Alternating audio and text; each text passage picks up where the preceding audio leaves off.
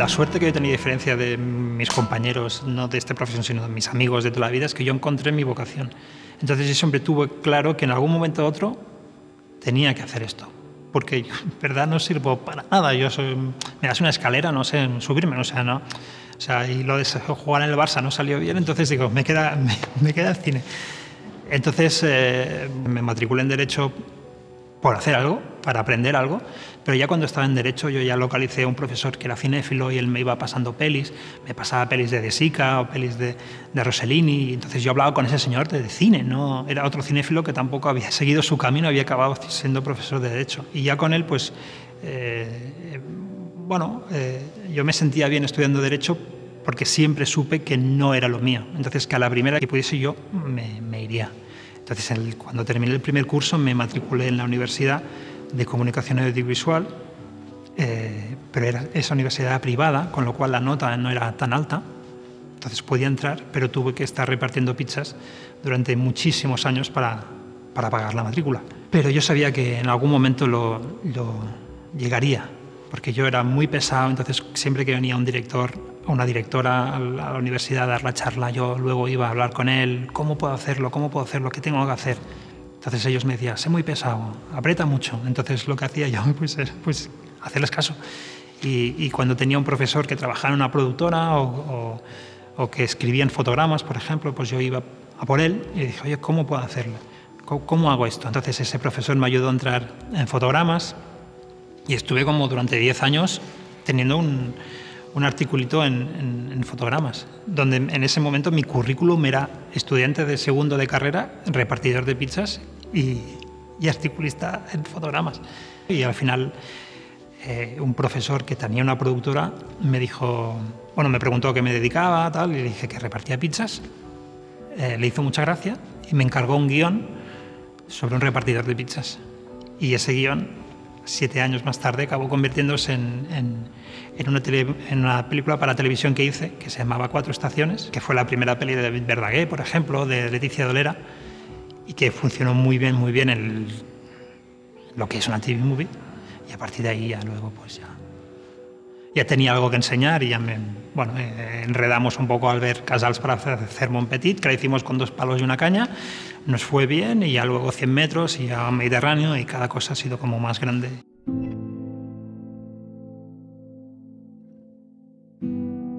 yo y unos compañeros de clase, unos amigos de, de, clase que ellos hacían radio y yo quería hacer cine. Y descubrimos la historia de un niño en Esparraguera que viajaba por el mundo sin dinero y en silla de ruedas y dijimos, hay que conocer a este hombre. Entonces ellos querían conocerle para entrevistarle para la radio y yo quería conocerle como conocerle. Pero cuando le vi con ese pelo azul, con la ruedas, pensé, este tío hay que hacerle una peli. Le dijimos, Albert, mira... Eh, queremos hacer algo contigo, no sabemos qué, una película, un programa de radio, lo que sea, pero queremos hacer algo contigo. Y él nos dijo, es que ya me han propuesto un libro, ya me han propuesto hacer algo, una peli o lo que sea. Y, y ha dicho, bueno, ya he empezado a hablar con ellos. Nosotros le dijimos, mira, Albert, nosotros no tenemos dinero, con lo cual vete con ellos, porque nosotros somos tres tíos de la uni, o sea, no podemos ofrecerte nada. Y él dijo, yo viajo sin dinero, vosotros no tenéis dinero. Y dijimos, no, entonces seguro que nos entenderemos, lo haré con vosotros. Y es como empezamos Montpetit, que fue una aventura de cinco años, donde él pasó de niño a, a adulto y nosotros también. Y, y, bueno, le pedí a Uriol Maimó, que hoy es un gran productor, que, que nos ayudará a poner un poco de sentido al experimento. Y, y la terminamos y nos dio muchísimo.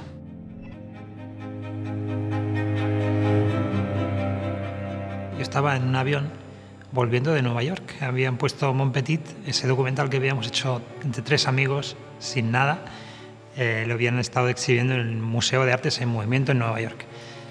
Y, fue todo tan precioso, la gente que la veía, que quería hablar con Albert, que nos daba las gracias por haber contado la historia de Albert. Estaban en ese avión y pensaba, ¿y ahora qué hago? ¿Qué hago? Después de haber conocido a este tío, ¿qué hago? y me quedé como parado diciendo, o sea, voy a descartarlo todo porque hay que encontrar a otro, a, otro, a otra persona que me, que me dé tanto, a mí, de, incluso de una forma egoísta, ¿no? de aprender tanto, de, conocer a alguien especial. Y un buen día haciendo zapping me, me, topé con Informe Robinson, que era un programa maravilloso de Movistar, y contaban la historia de, Ramón, un señor que le habían detectado esclerosis múltiple y que había decidido hacer un Ironman.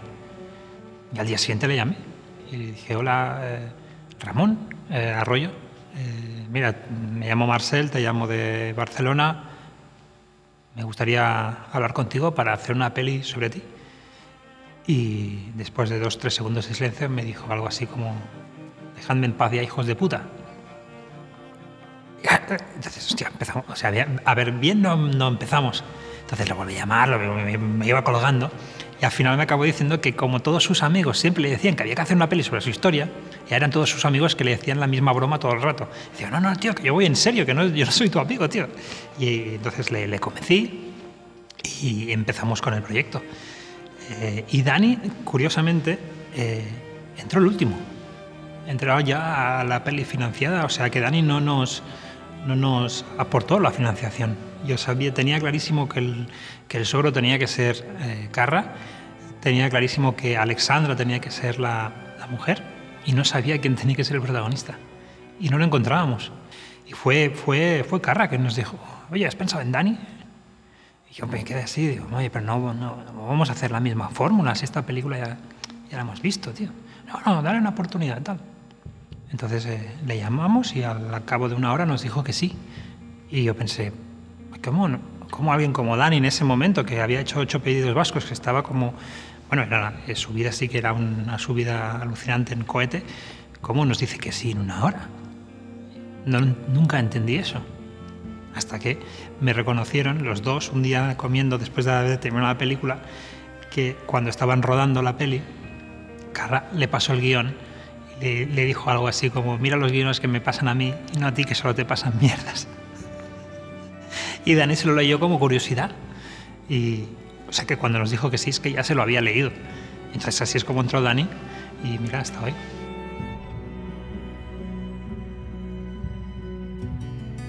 El estreno nuestro, eh, gracias, la, la prensa la trató muy bien, muy bien, muy bien.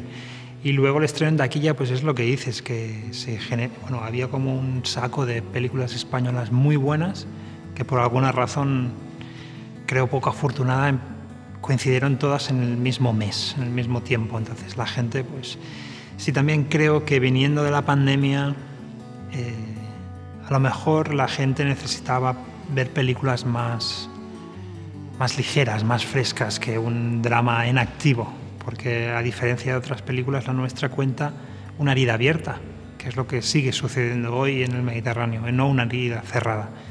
Entonces, a lo mejor, eh, pese a que tuvimos el, apoyo del boca a boca, de la gente que la vio, de la prensa, de las nominaciones y de premios, a lo mejor en esa primera, eh, en esa primera fecha la gente puso más distancia con acercarse tan de cerca a un drama que sigue en activo.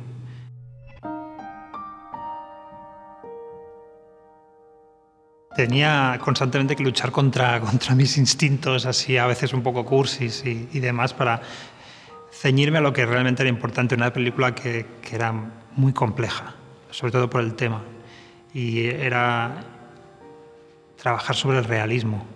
Y eso nos llevaba a, todo, a, todos los estamentos de la película, desde el, desde el acting al guion, a la realización, todo tenía que respirar realismo.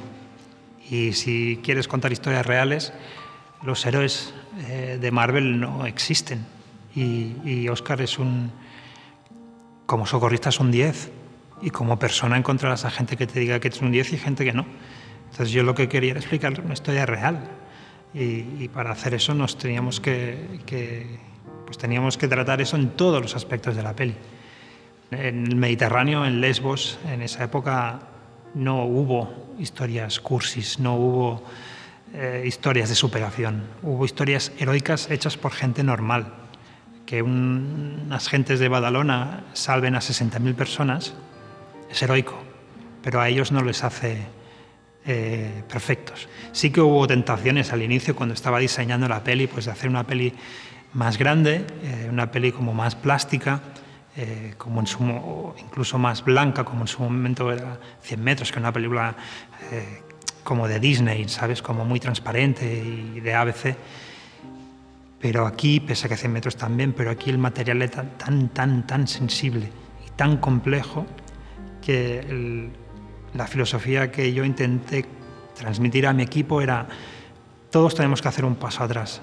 Esta no es la película de un director, esta no es la película de un actor, esta no es la película de un director de, un director de foto. Todos tenemos que trabajar para no meter nuestra autoría aquí y para que esto sea lo más realista posible.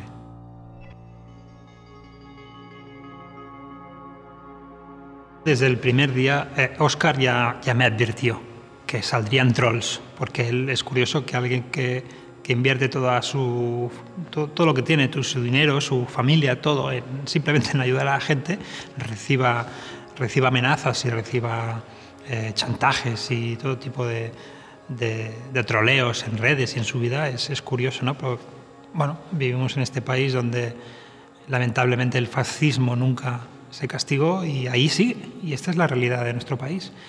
Él me había advertido, yo pensaba, sí, lo sabemos, pero cuando te ves en eso ya te da un poco de vértigo. No te asusta, porque al final, que, pero, pero sí que nunca me había visto en una, tesitura en el que soy objeto yo de, mensajes directos en los que nos dicen que esta película está financiada por el señor Soros, yo es que no sé quién es. Y yo pensé, bueno, pues si, si, este señor nos ha financiado, nos podía haber dado más dinero para hacer la película, porque la hemos pasado canutas. O que es una película eh, financiada por Podemos y por PSOE y por no sé quién. Entonces digo, bueno, pues no lo sé. Eh, eh, es una película de gente humana que hace cosas buenas que salvar a gente. Ya está, ya está. Pero un discurso como este se ve que esto irrita mucho a la ultraderecha, no sé por qué. Supongo que porque esta gente a la que salvan seguramente no les gusta por el tipo de gente que es, o por la religión que tiene, por el color de la piel que tiene, seguramente sea por eso. Pero al final nosotros estamos contando una historia de gente que cumple la ley. Chimpún, esta es la película menos radical de la historia, porque es la película sobre una gente que cumple la ley, que la ley del mar dice que a un náufrago hay que salvarle, ya está. Y nosotros explicamos a la gente de unos socorristas que salvan a gente. Bueno, todo esto vino a través de un, de un periódico eh, que todos podemos imaginar cuál es, y de un, de un diputado eh, bueno, filonazi que, que, llamó a la gente a boicotear la película eh, y lo han hecho de formas eh, diversas, como por ejemplo entran en las webs de, notas y nos ponen ceros, nos ponen unos, nos ponen mierda la película, blanqueadores de, de traficantes de personas. Es muy extraño, vivir esto es extraño, y constatar que realmente hay gente que, que, prefiere que la gente muera en el mar es, es, triste, es deprimente y lo único que consiguen es, es, el, a pesar de que nos bajan las notas, que dices, bueno, bueno, si esto es lo que vas a hacer, pues bien, eh, es el efecto Streisand, es que te dan más fuerza para seguir, porque si al final cabreas a los fascistas es que a lo mejor estás contando la verdad. Entonces, es que lo hemos contado bien, porque si no, no se cabrearían cosa que también yo les invitaría a todos a ver la película, porque eh, no, que lo último que es esta peli quería ser una peli política de derechas o de izquierdas, porque simplemente cuenta que a un náufrago la deriva hay que salvarle, como a Leonardo DiCaprio en Titanic, querían salvarle y no llegaron, o como a Tom Hanks en Náufrago, eh, había que salvarle, ¿no? Pues a los sirios que caen en el mar hay que salvarles. Pero han querido convertir esto en, en, en debate político. Yo creo que no hay debate que un náufrago hay que salvarle, que luego, cuando ya esté salvado, pues entonces ahí pueden empezar las preguntas. Pero a la gente que, bueno, pues que defienda que hay que dejarles morir o dejarles a la deriva, pues yo no sé muy bien qué, qué decirles. Me gustaría, eso sí, quiero pensar, quiero pensar que si ellos estuvieran en esa balsa y vieran a un niño de cuatro años agarrado a un neumático en el medio del mar, Me gustaría pensar que ellos van a, a, dar su mano. Porque si ellos son los que defienden la ley y no hacen eso, es que son unos criminales. Así que bueno.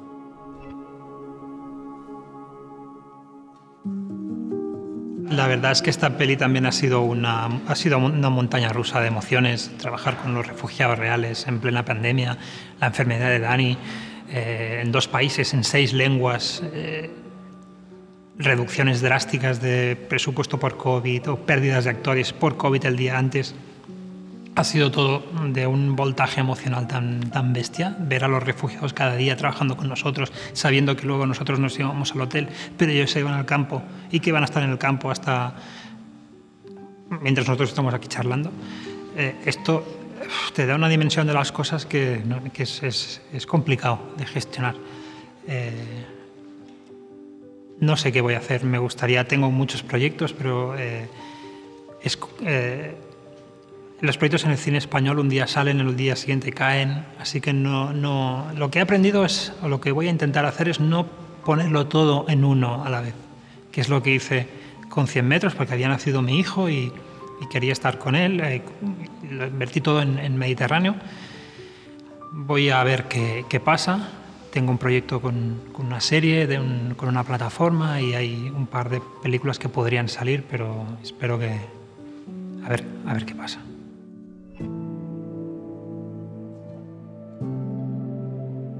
yo he crecido con el cine, con el gran cine americano. A mí el cine que a mí me ha hecho cinéfilo es el cine de Spielberg, es el cine de, de Zemeckis, de, Ron Howard, de Ridley Scott. Estos son para mí mis directos referentes.